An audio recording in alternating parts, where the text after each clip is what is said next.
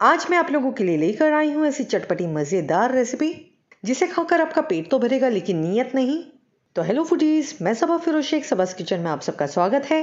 मैं आज इस वीडियो में आप लोगों के लिए बना रही हूँ क्रिस्पी फ्राइड आलू। इसे आप इफ्तार के लिए या फिर घर पे आए हुए मेहमानों के लिए, या फिर कोई पार्टी ही क्यों ना हो, आप इसे किसी भी वक्त बना सकते हैं। और इसे बनाना भी बहुत ही आसान है। ये इतने टेस्टी बनते हैं कि बस सोचे नहीं। इसे गर्मा गर्म बनाएँ और फिर सबकी तारीफें पाएँ। तो चलिए बनाते हैं। बहुत ही कुरकुरे क्रिस्पी फ्राइड आलू। क्रिस्पी फ्राइड आलू बनाने के लिए सबसे पहले कटोरी में तीन बड़े चम्मच कॉर्नफ्लोर ले लीजिए। कॉर्नफ्लोर मतलब कॉर्न स्टार्च कॉर्न स्टार्च मतलब कॉर्नफ्लोर दोनों एक ही इंग्रेडिएंट है। और फिर हम इसमें ऐड करेंगे नमक स्वाद अनुसार, जितना आप नमक खाते हो अपने टेस्ट के अकॉर्डिंग नमक ऐड करें। एक छोटा चम्मच लाल मिर्च पाउडर और एक छोटा चम्मच चाट मसाला। इन मसालों को हमें कॉर्नफ्लोर में अच्छे से मिक्स कर लेना है। इसे हम आलू पर कोटिंग के तौर पर यूज़ करेंगे। तो सभी चीज़ों को अच्छे से मिलाने के बाद इसे हम थोड़ी देर के लिए साइड में रख देंगे। और फिर ये मैंने लिए हैं छः मीडियम साइज़ के आलू। सभी आलू को छिलकर मैंने इस तरह मीडियम पीसेस में काट लिए।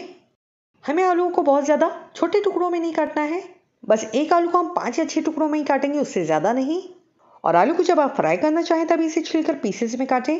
वरना पहले से ही काट के रखने पर आलू हवा के कांटेक्ट में आते ही काले पड़ने लगते हैं।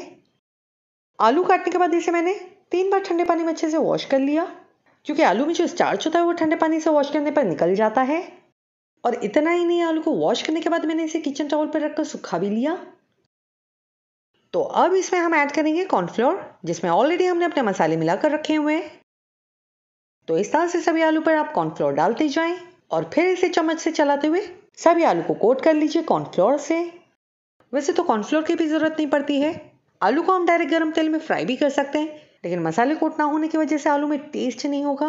और क्योंकि कॉर्नस्टार्च आसानी से कोट हो जाता है तो इसलिए मैं मसालों को कॉर्नफ्लोर में डालकर मिला लेती हूँ और फिर आलू पर इसे कोट करके फ्राई कर लेती हूँ। और अगर आप इसमें कोई और मसाले ऐड करना चाहें, जैसे कि अमचूर पाउडर ज़ीरा पाउडर या काला नमक तो अपने टेस्ट के अकॉर्डिंग आप बिल्कुल ऐड कर सकते हैं। तो ये देखिए आलू को मैंने खूब अच्छे से कॉर्नफ्लोर से कोट कर लिया। अब इसे हम फ्राई करेंगे। तो गैस पर रखें कढ़ाई और कढ़ाई में आलू फ्राई करने पर का तेल गरम कर लें। और जब तेल पूरी तरह से गर्म हो जाएगा तो गर्म तेल में आलू को डाल देंगे।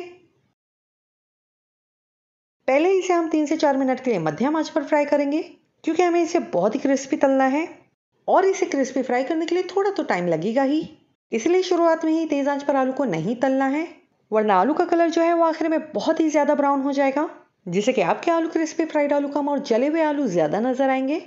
तो इसीलिए इस बात का ध्यान रखें और आलू को पहले तीन चार मिनट के लिए मध्यम आँच पर तलें।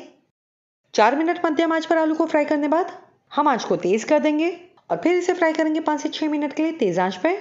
और हमें आलू को बीच बीच में चलाते भी रहना है। तो इस तरह से आप कलची से चलाते हुए सभी आलू को तेज़ आँच पर फ्राई करें।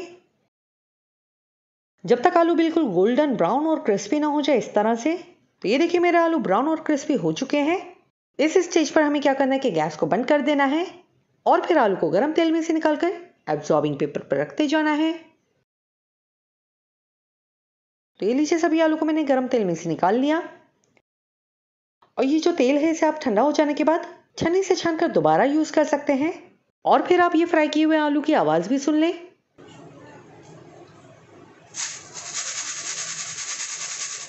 तो सुना आपने कितने क्रिस्पी बने हैं मेरे ये फ्राइड आलू।